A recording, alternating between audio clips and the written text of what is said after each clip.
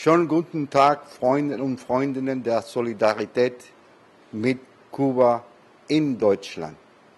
Für uns ist eine große, große Ehre, zu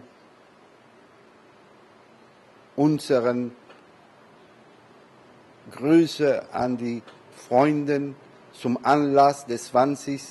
Jahres des Bestehens der Netzwerk Solidarität mit Kuba.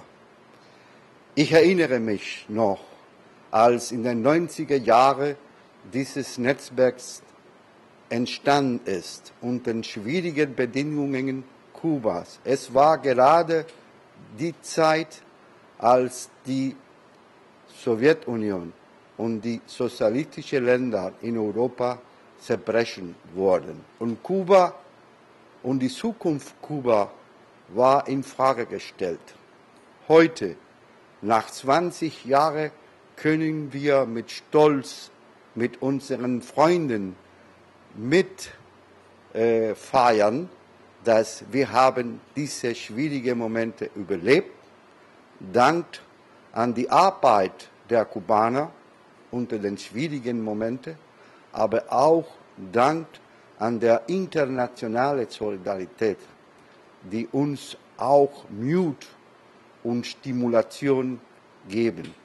Darunter auch die gute und engen Freunden der Solidarität in Deutschland und besonders Netzwerk. Für die Kommunisten Kubas, für die Kubaner, für die Revolutionären aus Kuba, die Beziehungen zu Netzwerk, die Beziehungen zu den Freunden Deutschland ist für uns natürlich auch aus größer Bedeutung. Wir haben heute das Land und den Sozialismus unter neuen Bedingungen bekräftigt und wir werden weiter diesen Kampf mit unseren Freunden weiterführen. Dafür möchte ich, liebe Freundinnen und Freunde, auch danken nochmals und sagen, die Kommunistische Partei Kubas ist stolz auf diese verbunden mit unseren Freunden in Deutschland.